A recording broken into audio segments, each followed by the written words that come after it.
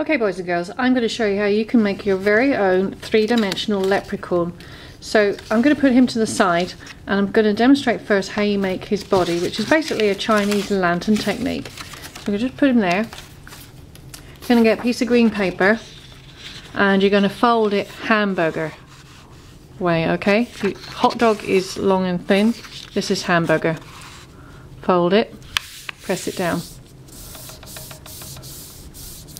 Open it up and you've got the fold down the centre. Now you're going to need a ruler to draw straight lines.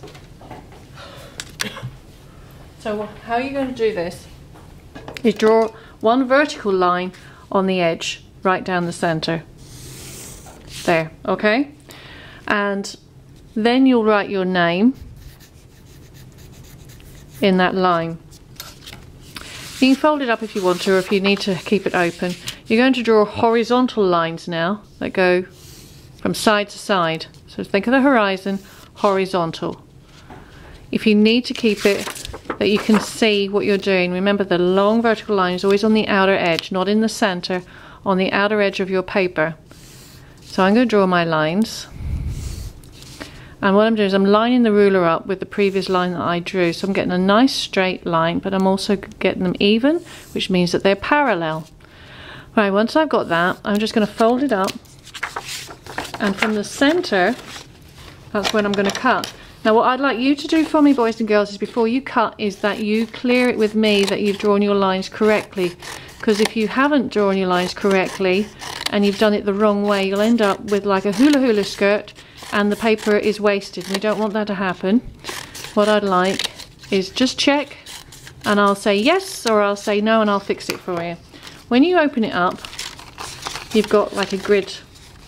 Now how to make it into the lantern, turn it long ways and then bring it round and bring it round like that. And what I'd like you to do is glue it and you've made yourself a lantern shape, okay? And then when it's glued, I'll probably come round and I'll attach some uh, staples to it to make it a little bit more strength, strength for you. So there we are, set that to the side so it can set. Next thing I'm going to give you a circle and a hat. You're going to get some beige paper, you're going to go up to the table, get some beige paper, and you're going to trace the circle to create the face. So when you've traced that, cut it out, you should have a beige circle. You're also going to get a small piece of green paper. You're going to trace the hat on the green piece of paper then you've got a hat as well. Then you're also going to get some orange paper and this is his hair because remember the leprechauns have nice fiery orange ginger hair. And you can do zigzags or wavy lines. Give him your own hairstyle okay? Now you'll say oh my hair's too big. So just lay it there and then just trim it around. And when you set it there and you've got that there, okay? And we don't need these scratch, we'll put these into the recycling. This is what a zigzag hairstyle looks like. Okay, so there's my zigzags. If I just swap it out, you'll be able to see the difference. I kind of like the wavy one that I just did. So there's his zigzag, there's his wavy one.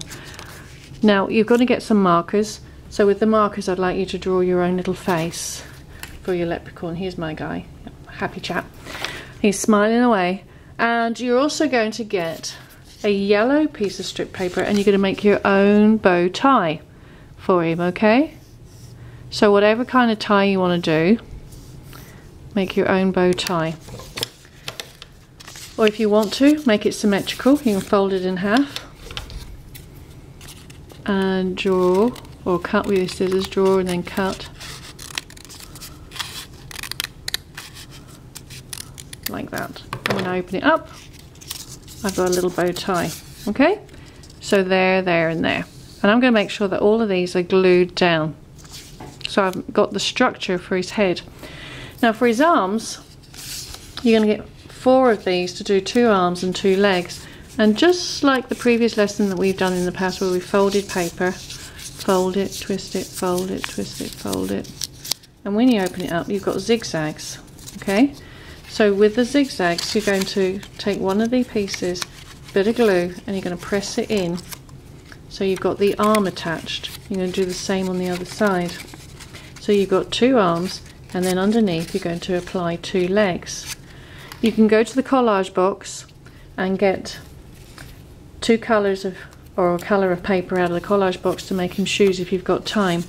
Now these little squares are for making his hands. So if you see here, he's got his little hands here. And it's very simple to do. I'm just going to push this up and out of the way temporarily. Is if you draw big thumb and a mitten shape. If I bring that up so you can see. See the mitten? And to make it easy, if you put two pieces of those papers together, like that,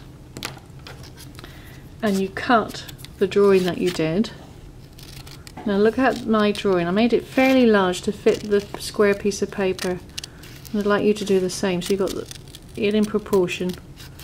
And then cut it out, put the scraps in the recycling, and you've got two hands that are identical, they're symmetrical in size. So if I start showing you now what's happening here, when you glue the face on, what you're going to do is you're going to put a bit of glue on the outside and you're going to put the face on the front there. You're going to then glue your hair on if you haven't done it already. It's probably easy to do it while it's flat. Then you've got your hair, your hat, and then you apply your bow underneath. So you've got that structure already going in place. When you do your arms, you can stick them onto the zigzags and then onto the body and the same for the feet. So if I show you the original one that I did, so I've got his hat, his hair, his bow, and then his feet with his shoes. And that's it boys and girls. Now it's your turn. Let's go and make a leprechaun.